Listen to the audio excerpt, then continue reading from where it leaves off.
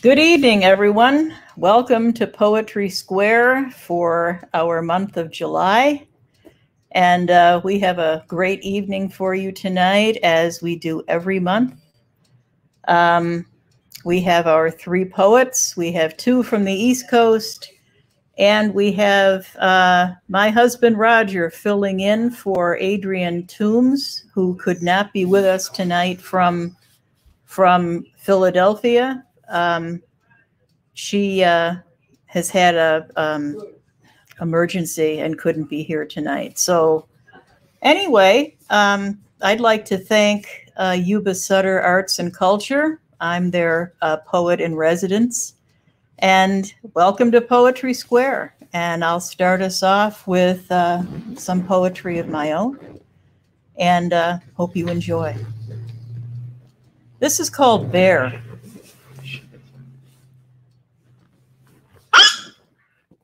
Don't turn on the air conditioner.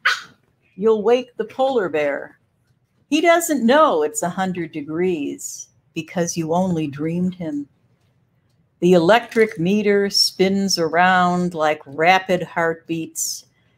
And when the air conditioner is on, brain cells in my cranium spoon into jello when it's off. It's cool morning, 70 degrees, 6 a.m. I water the vegetables and fruit. Succulents and cacti love this heat. Lush red at their tips, flowers like flutes from fat cactus that just last one day, then weep, fold inward, see you next year. Petunias, a riot of color in heat, dripping down pots. Roses explode their short lives, drop velvet skirts of color. The bear still sleeps in the corner. If we stay still, he won't see us. So we dance in our minds, recite poetry in text to one another.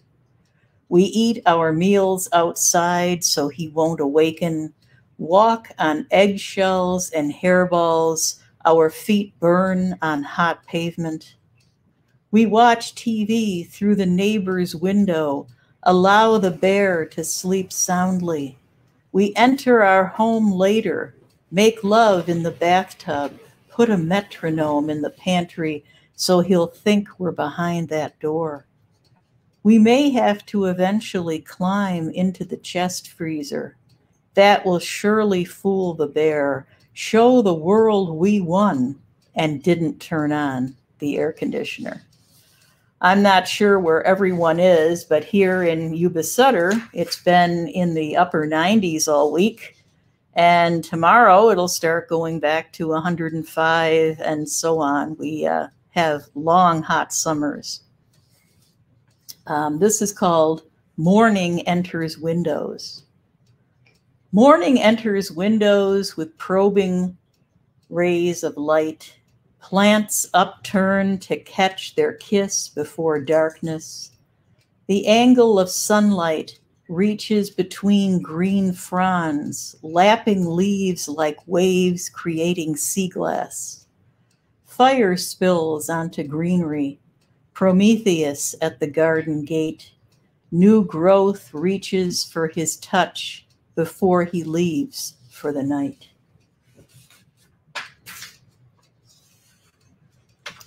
And uh, talking about hot weather, this would be a, a great thing for now. This is called civility.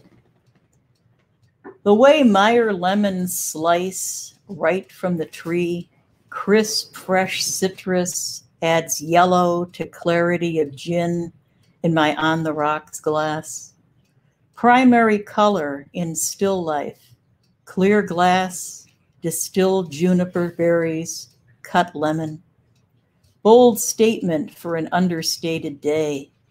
Watching an old Gary Cooper movie, pondering the ice in my drink. No formal cocktail hour, no dressing for dinner here. Another pours just as smoothly Bubbles rise from the tonic. Miles Davis blows over 100 degree heat, ice clinking, sinking to bottom of glass, where my lips reach the last cube, crack it with my teeth as it surrenders down my throat. I celebrate my dependence on this little bit of civility.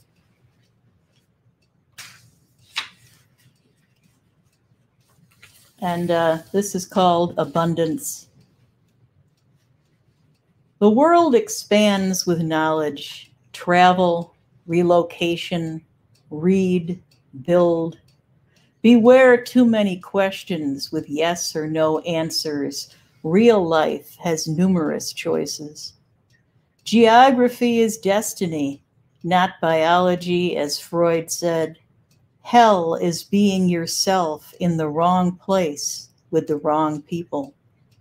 For some, the key is in the lock, but the hand doesn't turn it. Others will push all day against a door labeled pull, ending up with a cracked door and a glimpse of what they still won't enter. Pious and born again, repent, and all is well, forgiven Create good works and service to humanity instead. Art is prayer. Pray often. Be wary what you wish for. Dorian Gray's portrait in my attic is slender and red-headed, but entirely uncomfortable in her own pallid skin. Her youth and attraction, but practice knows pleasure. I am ample, confident in my words, tanned from toil in the outdoors.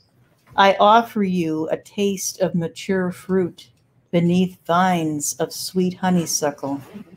Savor slowly, for it is ripe at the peak of season, and I have much experience of abundance in the garden.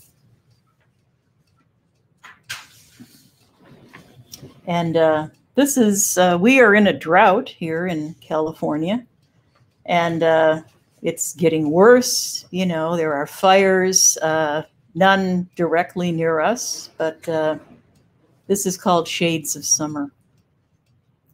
Drought this year, Western heat breaking records, desiccated skeletal summer, dry docking outdoor plans Gardens grown under pressure to produce more with less.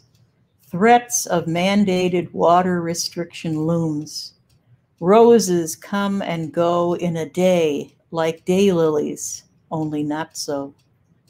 Memories of summer showers back east, many weekends soggy for plans, thunderstorms that conjured the dead, shook with fire and brimstone that made the innocent repent. Cicadas orchestrated humidity as it rose higher despite the break of sudden storm. I love watching all the flavors of rain. Summer there melted like popsicles. Here it crackles like fire.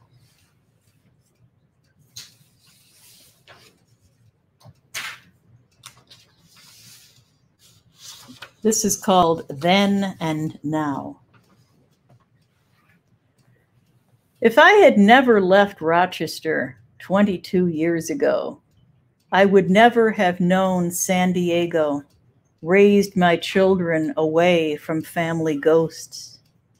If I had bought an old Victorian house, I would have cluttered it up with the past instead of the rural present or the skylit future.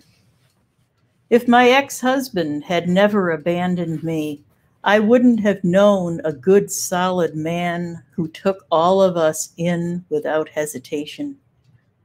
If I had, lo- had been a stay at home mom, I wouldn't have cherished my boys as much, each moment a gift, not a chore.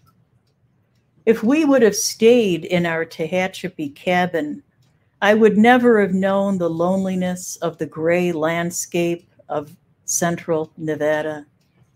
If I could have kept my Great Dane, I wouldn't have known the entire spectrum of how cruel a world can be. If I had moved back to Rochester after the divorce, I would never have met my now husband's crooked smile and generous true love. If I had not taken another chance at trust, I would never have tra- tra- sorry, I would never have seen Europe and Australia without the heavy baggage of my past. And if I had hugged what seemed a soft polar bear, I would never have still been alive to enjoy the real world apart from fantasy. And uh, this is another poem for this kind of weather. And uh, it's a brand new poem, actually birthed yesterday. The swimming pool in full sun, morning best after garden work. Long strokes from one end to the other. Birds on branches greet strengthening sun as I pull and kick, twist and stretch glide through aquamarine Xanadu. I swim several times a day, laps for exercise, back float and butterfly to watch the Larimar sky. Relax. Dogs asleep bake in squares of sun. Unnoticed squirrels skitter along fence top. We are all too mellow to care water and sun and breath, all we really need in summer to shine.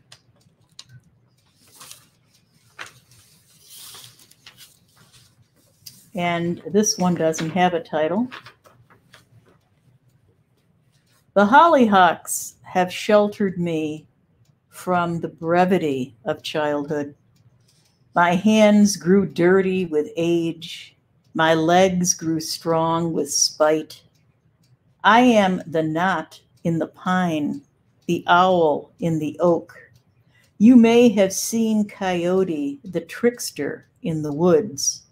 I have lived there too with them, nurtured my cubs, showed them cunning ways to survive, to make their way amid humans without notice until a veil of darkness brings out the keen survivor in us all.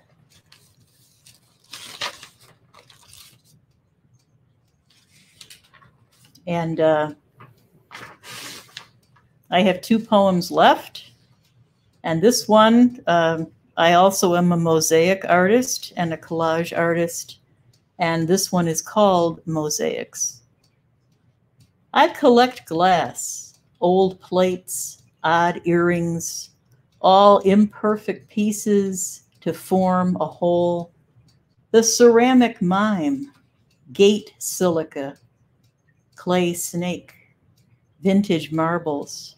I hunt far and wide. Yesterday, a saucer broke onto the floor. Mosaic, I shouted. Early mornings in the shade of liquid amber I fit and cut and break and glue. A different act than writing. No thinking, just pattern, instinct, and color. I leave them to bake in sun perfect for the task.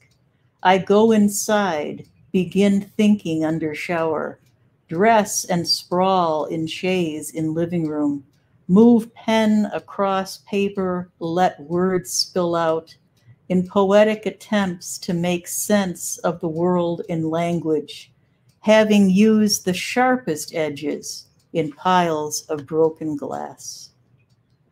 And I'm going to end with this poem.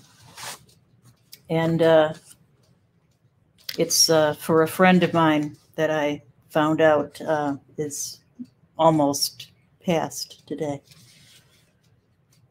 The goal in life is to be someone to somebody, to be ready to explore the road ahead, even if afraid, even if you think it's stacked against you, if you've lost before, if you had no seat at the table, if no voice would come out? Take that journey, that risk. You needn't leap out of a plane to land on your feet, get your bearings, squeeze it all in, for we never know when our time will be up. And to all those excuses, I've no time, it's too hot, too cold, I'm tired, I just want to sleep. You'll sleep forever one day when your lips will no longer impart reasons for why you won't go out, won't have friends in your messy house, how your body is too old, too heavy, too scrawny or weak. Just do it. Do it as good as you can. Make them miss your sass, your zest for trying the new, even in your average clothes, your old model car, the room you occupy but isn't your shell to hide in. You never know when your heart will cease. Just do it, do it well, and catch your sleep later. Thank you. And now we'll hear from Dawn Leas, a poet from um, uh, Pennsylvania. Thank you. Hi, everyone. Um, thank you so much, Diane, for inviting me. Thank you to the um, Yuba Sutter Arts and Culture and to Shantae and to Abby. I'm happy to be here. Um, um, the first poem I'm going to read is from my first chapbook, I Know When to Keep Quiet, um, and it is called Ashes. My father was a volcano spewing lava that night. Tables became timber, curtains fell, walls crumbled. My mother was a hummingbird darting between him and us, wings humming false promises that evaporated in the heat. In the next room, my mother, my sister and I shared a double bed like we had shared our mother's womb, a tangle of legs and arms, her thumping heart close to mine. A sliver of light sliced our room as mother appeared, then disappeared again. I folded my arms and blinked like I dream of Jeannie. Nothing. In the morning, we tiptoed over rocky landscape. We washed our hands in ashes. We waited. And um, just this week, I had the opportunity to see both of my sons, my adult sons, um, for the first time, my youngest son for the first time since December of 2019 because of the pandemic. So they've been on my mind a lot. I often write about them, um, much to their dismay. So I decided to read a poem from my full length collection, Take Something When You Go, um, called City Dwellers, which is about both of my sons when they had gone um, away, they were away at college in New York City. It's called City Dwellers. I raised city dwellers deep in suburban trenches, bordering farmland and forest, with a state park as a playground. Whine of Saturday morning lawnmowers, sting of weed killer, houses buttoned up with central air, block parties, and flashlight tag. I said no to walking to friends' houses on county roads, no sidewalks, a berm of dirt of rocky ditches. We spent their childhood in an SUV to and from school, piano, soccer, golf lessons. After bedtime stories, I whispered prayers. Please find your way. I packed lunch notes. You can go far. Now they travel I 80 through the Delaware Water Gap, its mountains russet across my home state, through the Lincoln Tunnel to Washington Square Park, over the GW, north on the Henry Hudson to a Hughes Street off campus apartment. Subway maps are decoded, routes memorized for the NQR, the 123, Metro North. They wander the streets from Alphabet City to the Upper West Side and see bands I never heard of at Webster Hall and Terminal 5. They text and call home. There's no reason to return, I say. You found your way. I'll find mine. I'm also going to read another poem from this collection um, that's about Seaside Heights, New Jersey. I am, um, I was born in New Jersey. It's, it's my home state, and um, the Jersey Shore is a special place to me. And um, this is about Seaside Heights 2011, just about a year before Hurricane Sandy came through and destroyed part of the boardwalk. After prayer and incense at Mass, a police escorted procession, and an Irish family goodbye, the Atlantic pulls you east You walk the weathered boards of your childhood, past Lucky Leo's, thud of ski ball, skee ball and jangle of arcade music, a portal to Saturdays counting tickets and picking prizes. The air is alive with Italian sausage sizzle, pizza grease, the tang of vinegar fries. In the Berkeley sweet shop, you escape the November wind to warm your nose and fingers. Buy creamy chocolate fudge that will be gone by the time you cross the Pennsylvania border. The late afternoon draws geometric shadows on the wide swath of beach, polka dotted with people. You meet your cousin at the tip of a triangle, walk dry sand to wet, and your words tangle with the wind, then dissolve in the spray. That day, your grandmother is the Atlantic, a blue horizon, an infinite wave, white capped water that spirals and folds and ebbs, a circular tide carrying all memory of the past, all the secrets of your future. Um, Shantae, maybe you can put a picture up of the next book, please. Um, this is my latest collection. Um, it's called A Person Worth Knowing, and it is um, it was just released by Foothills Publishing, a wonderful um, publisher in upstate New York. And I love this book because it's hand stitched and it just has a lot of meaning to me that Foothills published it. So I'm going to read two poems from this. And this first one is called Day Job. Um, all of these poems are about people, some that I know, some that I don't. Um, and this is somebody that I was passing by on a street and it, he just caught my attention. So I decided to, um, to write a poem about him. It's called Day Job. Hanging on the back of a tire truck, he exhales streams of vapor at 7 a.m. Still wearing yesterday's skinny jeans and red Chuck Taylors, the required fluorescent vest pulled over his hoodie. He rubs the night from his eyes and pulls gloves from his back pocket. He plays nights into these mornings at all the local places, floors sticky with beer, tables crowded with college kids spending their minimum wages on dollar drafts and jukebox memories filled with waitresses carrying long hours of trays, looking for tips big enough to take them away from here someday. He plays his guitar electric and blue until last call, walks the blocks he works in daylight home to a garage apartment to catch three hours of sleep. Jumping down, he takes time walking to the curb, swings overstuffed green bags into the belly of the truck, pushes and pull pushes a button to crush and compact. He repeats block after block. At the end of the run, he climbs back onto his ride, spits last night's stale taste into the gutter. He tightens his grip when the truck lumbers around a corner, its pipes coughing black smoke, smoke, motor whining against the frosty morning. This, this next poem is a found poem. It takes parts of or complete titles of various songs um, from groups like U2 and Genesis and Van Morrison. And it is called Gypsy Radio.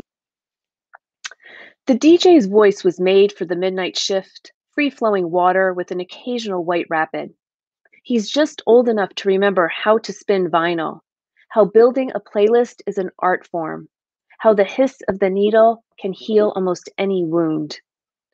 Nights undulate at his matchmaking, 70s funk hustles with 80s pop, moonwalks into crowd surfing with 90s grunge. They make beautiful children. There's no room for ordinary love, but in your eyes, November rain drenches him. He lets the flood disco. You're already gone, running and running into the mystic, where you'll wait for the boys of summer to take you to the church of your childhood, your very own home by the sea. Stay with the DJ until the end, and he'll prove you get what you give to the spinning. It's the denouement of night now, and as the sky somersaults, you're alone in these dreams, where he's nicknamed you Miss K, with lips like sugar and hips like an unforgettable fire. Um, this next poem I wrote several years ago. It's about going to a softball game to watch my niece um, pitch. She, I think, was in middle school at the time, and she is now going to be a freshman in college, and she's still playing softball. So I thought I would read this one um, tonight. It's called Independence. The rain comes every day for weeks, sometimes in giant bursts, droplets breaking on tree branches. Often in drenching curtains, the wind blows west to east. The water pools muddied in the construction site outside my office. I'm quickly giving up on summer. You're saying you'll never let go. On the eve of 4th of July, it's dry. We drive over an hour to the middle of nowhere for a softball game. The tractor parked outside the Turbotville Great Value and marked spots for buggies. A young couple climbs into one. He's suspended and bearded. She's white capped and long dressed, unwrinkled. They look full of hope. I think there's a poem here. I try to take pictures, but my memory is full. You refrain from a lecture. My niece throws strike after strike after strike in the bottom of the sixth. The stands cheer. The next day we wake to more rain. Okay. And now, um, this poem is now about my twin sister. The first poem, um, she was in it, and um, I do write about my sister frequently too. And this is another found poem with um, words and phrases um, that came from the Minneapolis Skyway that connects the buildings in downtown Minneapolis. And then it kind of morphed into a poem about my sister. It's called Time Door. These twin cities don't look exactly the same, like you and your sister her red hair to your brown. She speaks with her right hand, you always go left. Her scientific logic questions your emotional language. She seeks wide fields, corn stalks swaying. Her husband saves the henhouse from foxes roaming the night. You want stacked vertical living, 1 a.m. conversations in a standing room only bar, sun rising over steel. Stop there. Choose your wings carefully and tell her to do the same. No need for separate, separate exits. You will fly together to the Mississippi River of your childhood, far south of here, where you, where you splashed each other, ran away, then toward one another, knowing your parallel paths will somehow cross on this skyway, a labyrinth connecting the past to the present, a sanctuary for you both. You breathe in tandem like these cities, no matter how many miles are between you. You know, she knows, where one ends and the other begins, even as the sky fills with snow. Okay. This poem is called Meteor Shower. Tempel-Tuttle takes her time orbiting the sun, slow but fierce, leaves her signature, and when Earth crosses her path, an orchestrated show of light. Just before dawn, you lie on the concrete sidewalk five hours behind the East Coast, a symphony of birds singing the morning awake. You snap pictures of Jupiter, Venus, and Mars, the distance between immeasurable with just the eye. Then Le- Leonid radiant falls through the constellation Leo, and the shower changes everything. I ask when you'll be home. You answer right quick. Just after midnight, I lie down on a cold driveway, dead leaves scratching its surface. Above me, pines and red oaks tiptoe their way to the northern sky. My Scorpio lives by the moon, has a hard time forgetting. Your Aries lives close to the edge of Mars. We will each other for this every day. The comet lumbers along. The meteor shower comforts. Mother Earth spins. Right quick takes on new meaning in space. 33 years to orbit just once? We're experts at waiting. Okay. And this next one um, is a relatively new poem, and it's was kind of taken um, from a variety of free writes, so it's kind of um, cobbled together. It's called I Woke Up at 3 a.m. Thinking I Was Somewhere Else. The air hasn't taken the turn toward fall quite yet. I want to be a tree blowing in wind. I want to be the last leaf to fall, bright orange. No, I want to be crimson. Clouds are moving against the jet stream. White gray sky carries hidden stories. Maybe if I had had a daughter, I would know the secrets of this land.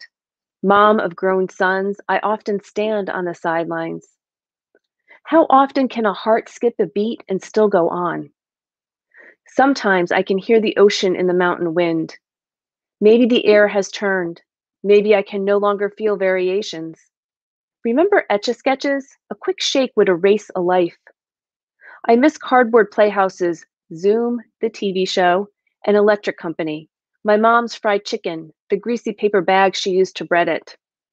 I can see the leaves are dimming before their turn. The water tower is dismantled. I pray the ch- church steeple doesn't topple. Thank you again for being here. Um, to Diane for asking me, um, Shantae for the te tech help. This is my last poem. It's called Good Girls. Good girls learn the difference between second and third bases from older girls while listening to tapestry in the back bedroom of a chilly duplex, parents' hushed talk floating up through the floor vents. Good girls write Mrs. Hudak with fancy curlicues in the back of their mead binders, marry first loves. Good girls do not play spin the bottle, hearts racing in the back of a coat closet, don't even think about strip poker.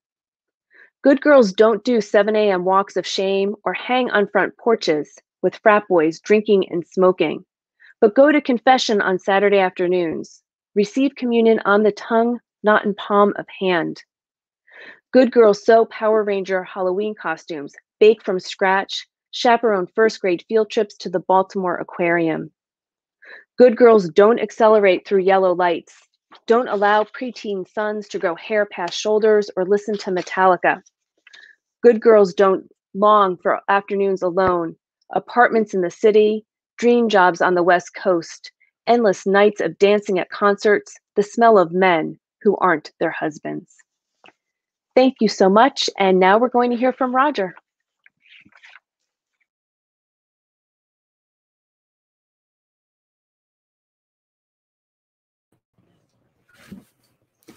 Hi, everyone. I spent uh, a good part of my career working in the mining and oil and gas industry in in uh, um, the western U.S. and so my first couple of poems, eh, doing environmental work, my first couple of poems are about that. They say, they say Highway 50 is the loneliest highway in America, running through the middle of Nevada from the high elevation of Great Basin National Park through the basin and range country, over mountain passes, through desert as far as the eye can see, to populated Carson City and South Lake Tahoe. But there are lonelier roads in central Nevada, some paved, many rough, unpaved roads, cutting straight swaths through an endless sea of sagebrush, pinyon pine, and juniper covered mountain passes, often a 100 miles or more between gas stations. They say central Nevada was once submerged, a shallow inland sea teeming with giant reptiles. Violent volcanic eruptions folded and lifted the land, building five parallel mountain ranges, the four valleys between becoming desiccated desert. They say Native Americans traveled along the creek beds into the hazy Smoky Valley, leaving behind a treasure of ancient campsites and and the story of prehistoric survival in a harsh land. The angular Toiyabe Range to the west, narrow canyons, aspen lined creeks, springs, green oases, hard to reach wilderness areas at over 11,000 foot elevation. The rounded Toquima Range to the east, volcanic calderas, perfect geochemical conditions to precipitate gold and silver. Miners came in the early 1900s hastily built boom towns, Manhattan, Belmont, Tonopah, Goldfield, fueled by dreams and greed, the easy gold quickly mined, leaving tailings piles, mine shafts, ghost towns, and the colorful strata of exposed mountainsides. They say central Nevada is the land of boom and bust, the third resurrection of the Round Mountain mine, aided by new processing technologies. Once gold nuggets stuck out of the ground, now a nine, 900 foot deep pit, a mile long, a mile and a, a mile long and half mile wide. Thousands of tons of earth moved to recover ounces of microscopic gold. Cyanide heap leach piles, hundreds of feet high, that will drain toxic fluids for hundreds of years. The plan to clean up this mess, a concept only, an engineered plan pushed far off into the future a new town sprouting in the middle of nowhere. Mobile homes, grocery stores, pizza parlor, gas stations, schools.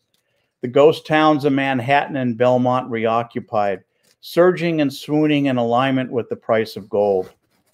Tonopah, once the destination of an early 20th century gold rush, nearly died surged with the opening of a molybdenum mine, then nearly died again when it closed. But ever hopeful geologists have new visions for the next mining boom, exploring for molybdenum, gold, and lithium. They say that central Nevada was the home to the Sagebrush Rebellion. The few ranches left still make a living grazing cattle on overgrazed public land almost devoid of edible forage, paying a pittance in grazing fees, a radical few not paying, fighting with the Bureau of Land Management since the 1990s over grazing fees and water rights. They say that central Nevada had legal brothels in saloons near mining towns or in a collection of trailers along highways, with free parking and showers for long distance truckers.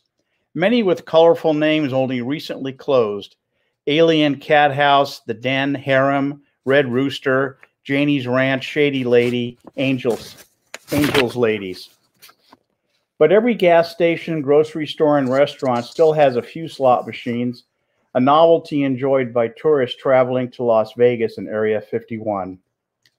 It takes a special breed to thrive in this land of extremes spectacular lightning shows, booming thunder, hailstorms, flash floods, howling winds, dust devils, frigid winters, but also spectacular high elevation wilderness and world class stargazing in night skies unobscured by city lights.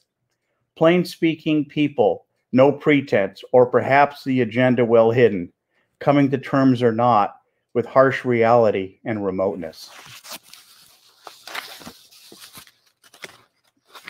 And my next poem is called The White Elephant Restaurant is Gone.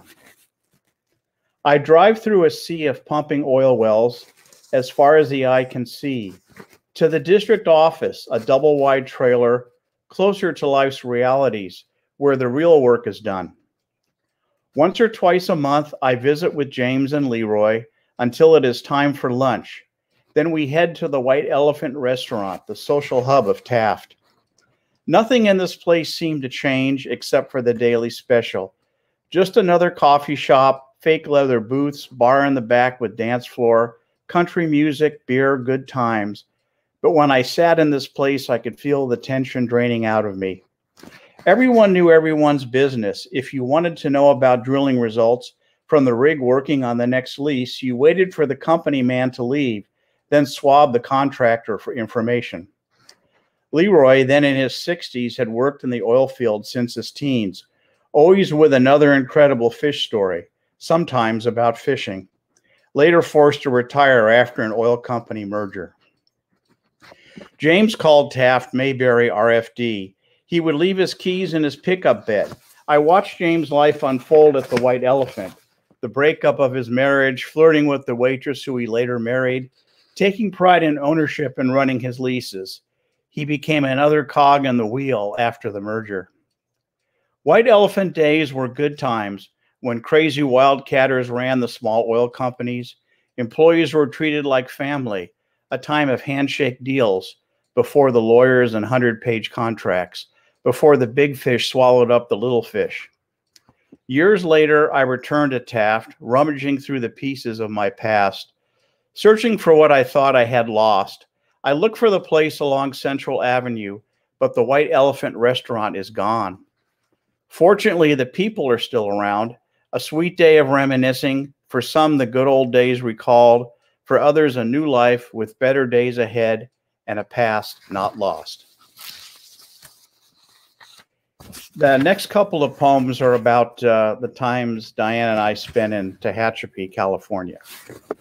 Lazy Weekend. It used to be so important to stuff as much as possible into a weekend after sitting in an office all week.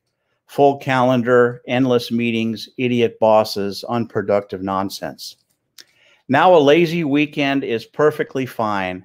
Leisurely breakfast, watching our million dollar view, birds at the feeder, walking the dogs, bopping around town, watching a movie, reading, afternoon lovemaking, napping, love spending time with you. My four month sabbatical has been mostly wonderful, sometimes frustrating and disappointing, thinking about what is really important, finding out who are my real friends, a balanced life filled with community, poetry, live music, photography, travel, perhaps learning to play a musical instrument.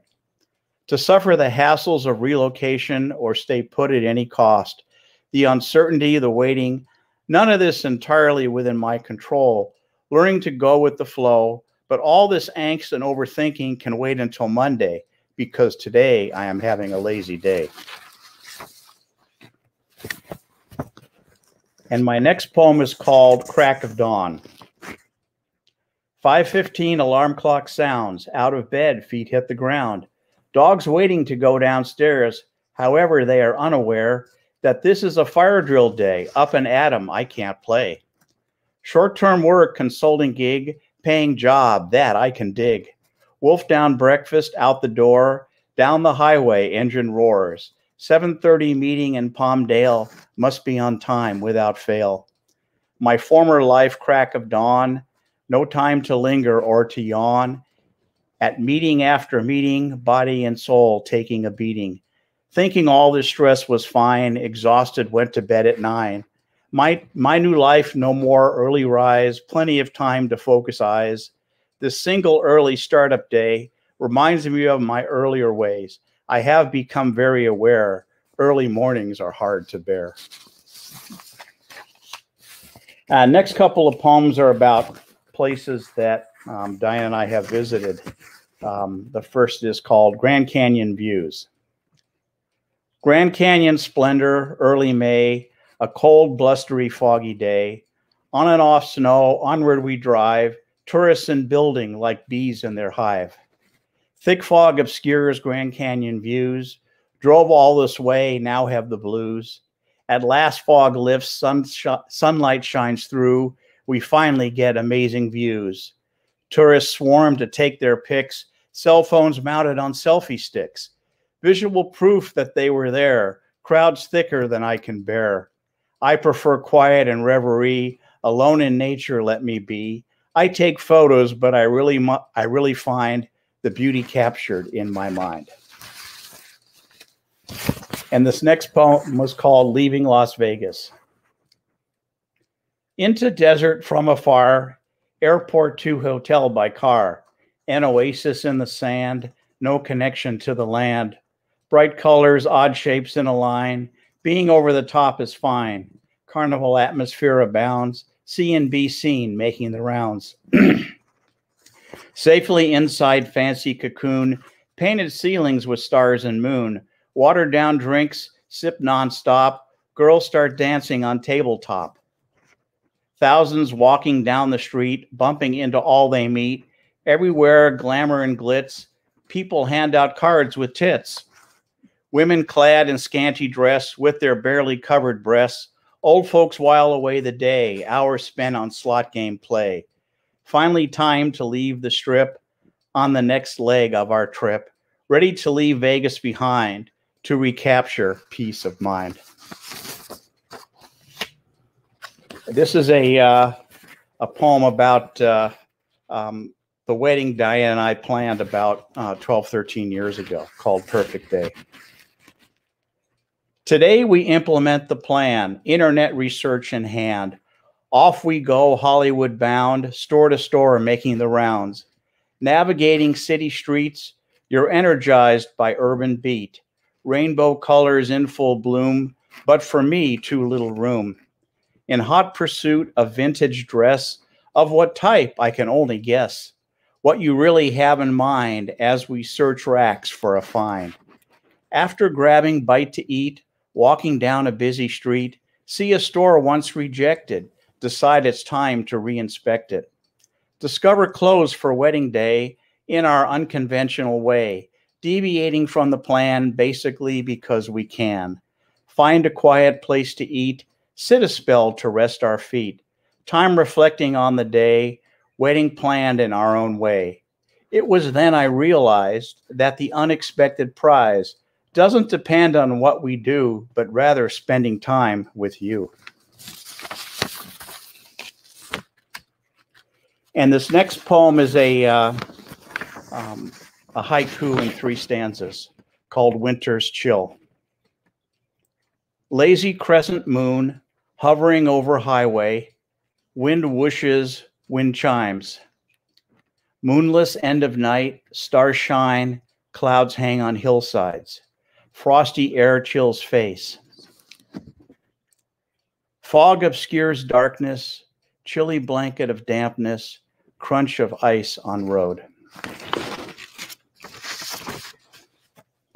And my last poem is uh, um, about my grandfather's uh, toward, uh, grand, grandfather towards the end of his life. Grandpa Saturdays.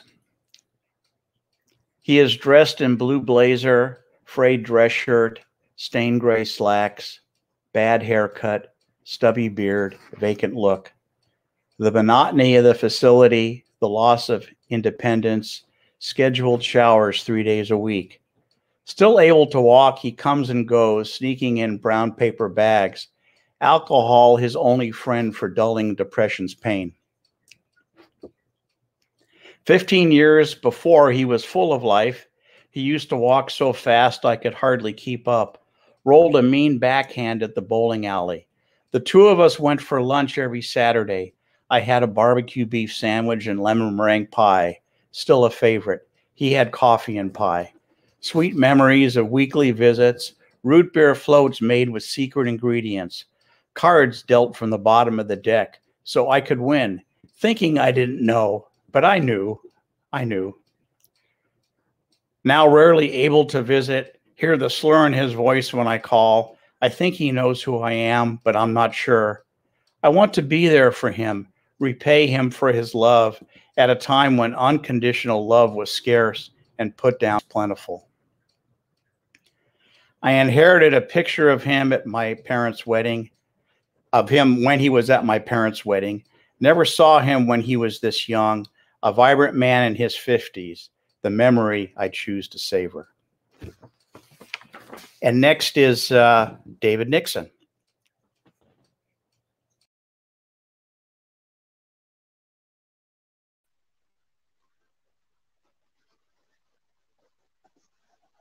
Okay, I'm here in Hilton, New York, and I'm going to read some poems from my most recent book, Stephen Forgives the Stones New and Selected Poems, which oddly is also from Foothills Publishing. And I'm going to read some other things as well. We'll start with poems from the book. The first poem is called Hunting the World. When the world weaves slowly over the hills, we all lie waiting in the bushes. At the prearranged signal, we all jump out and cover the world with arms, legs, torsos, tumble the drunken globe to the ground and tear its limbs off, eat its heart out. Swarming over the shattered carcass, we gnaw and gnaw, but none grows full. Okay, the next two poems from the book are about Dick and Jane. I learned to read with Dick and Jane, or at least that's what they were teaching in first grade back then. And the first is called See Puff Drive the Dragon. Look, Jane, see Spot bleed. See Spot eaten by the dragon. See Puff drive the dragon off as Dick pukes in the green bushes. Look, Jane, see the dragon run. See Puff slash the dragon open. Look, Dick, see Spot stagger out of the dragon's torn guts. See Puff lick Spot clean. Look, look, see the dead dragon. Feel us all back together, happy, alive. See what Puff has done. Okay. Well, my sister uh, taught reading to young kids as a school teacher, and she liked Dick and Jane a lot. So she didn't like that too much. And she said, Where was Sally? I had forgotten Sally. So here's a poem called Sally Alone. Sally is left behind to grow alone in dust and mud, while Dick and Jane go off to college in another state. Spot and Puff die of old age, as do Mom and Dad. Sally sells dandelion wine and makes dresses from sheets. She crashes with friends and strangers, writes beat poems in rain and heat, has ponchos made of blankets. One light, one heavy cover the seasons. Sally sings on the street, recites poems for coins in her flowered flop hat. Some nights she dreams her pale family, but mostly Sally leaves them behind, creates her own Eden with no forbidden trees.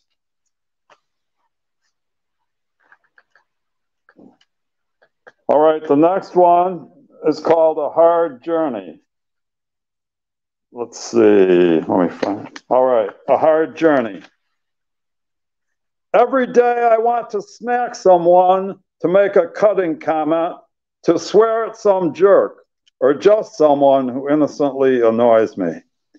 Every day I must struggle to stay my hand, my tongue, to keep what peace I can, so that the small wars of the present do not flare up and threaten to rage into deadly conflagrations. You have to fight fire with hard won caution so that you may not need the holy water of protest and nonviolent intervention. So you may save that liquid bomb to pour on fires others are bound to set. Even if I were Smokey the Bear, peace would be a hard journey, always alert to hold back my own folly, always so many fires to try to put out. All right. Next one is called Blue Beaver Dream. In my dream, the blue beavers slapped their heavy flat tails on green water, and ripples spread beyond the dam's dark logs throughout the fathomless pond. Purple bird trills hung above the green ripples and shimmered in the crimson air. I willed myself to stay asleep and dove beneath the pond's surface, where blue beavers led me into the clear, dark rooms of their log dam house. And I felt my blue tail blossom with such power that I might swim forever in this dwelling made by parents' tails and teeth.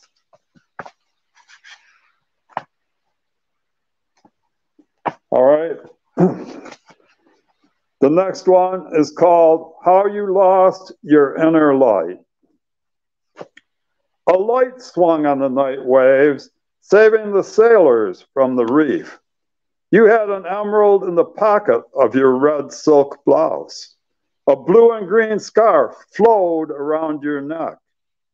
No one felt the emerald's presence as you danced outside the lighthouse door until dawn rode in on a dark crow wind.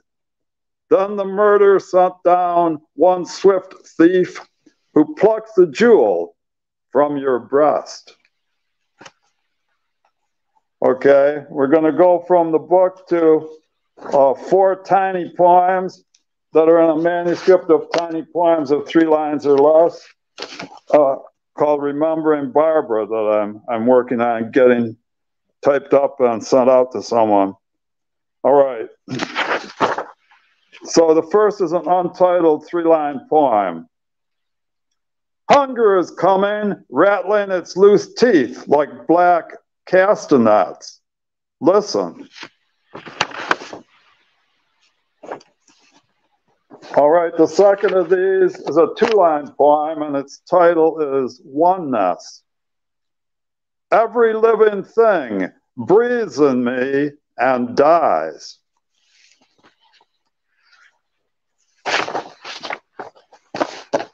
All right, the third is an untitled two line poem. Tonight we carry our dreams, clear water. The buckets are full. We watch our stuff. All right, the last of these tiny poems that I'm going to read is a two line poem, and its title is While We Live, It Is Never Wholly Winter. Deep in the mind, a mindless yellow flower with a black eye at its center blooms forever.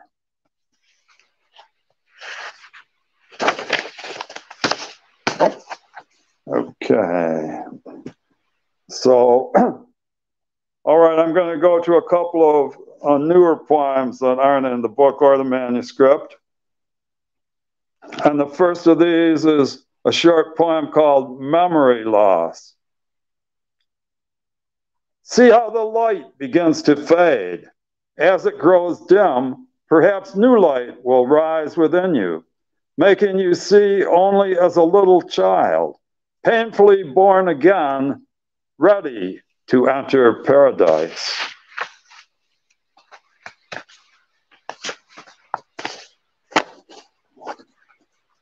All right, here's a, a, short poem called Dark Vision. The day has cooled into night. No fireworks disturb the dark. Electric sounds are not too harsh. Now is the time for quiet verse to open the back door of the hearse. Behold the body stripped of light.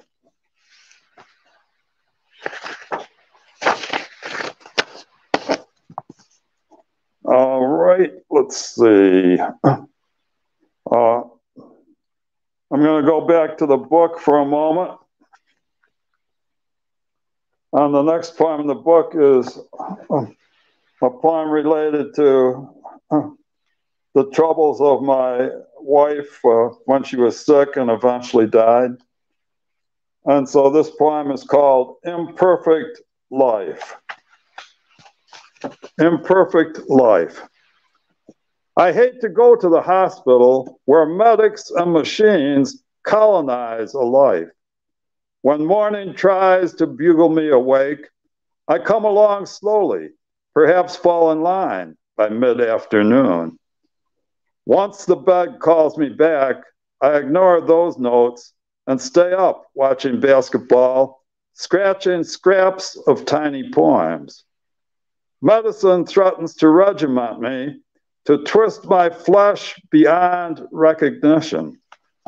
Seeing Barbara's zombie stare, or later, the fear in her eyes as she lies unspeaking in the cell of her hospital bed, is one more reason to bang my head on the wall.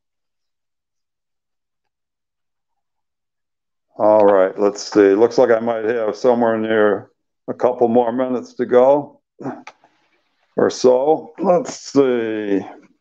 I'll do something more from the book then, I guess.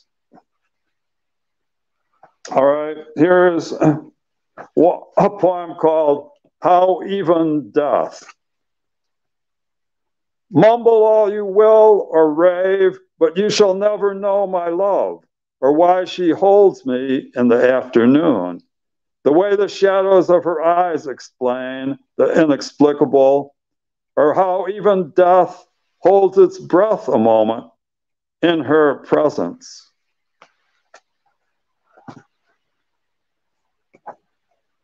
All right, let's see. Maybe a couple more quick ones here. All right, uh, here's one called Tithing, Tithing to Eros. Look, the glasses fuse in beauty, create a huge crystal pitcher, fall away to single glasses. The deer runs through the dense forest without breaking a single tree. The red fox rises from the grove and trots in the blazing air. I tithe to Eros with my poems Lately, I bow beyond tithing, so my secular poetry goes broke. Even now, ragged political poems are gathering in my cortex, planning the parade route, filling canteens at a sparse spring. Uh, okay, Okay, one more short one. Um, this one is going to be called Lost Meeting. On the other hand, no, it's not going to be called Lost Meeting. It's going to be called Our Long Journey. We'll do that one. As I raved deep into the night, she silenced me with a long kiss, which never could betray. Then she led me through blue stars into an azure day that stretched beyond us. Years later, she walked off alone beyond all time, and I was left as day faded to twilight. Now I start to follow her path, which winds beyond the earth's warped ways. Okay, thank you, everyone. And uh, now, Diane, to end things up.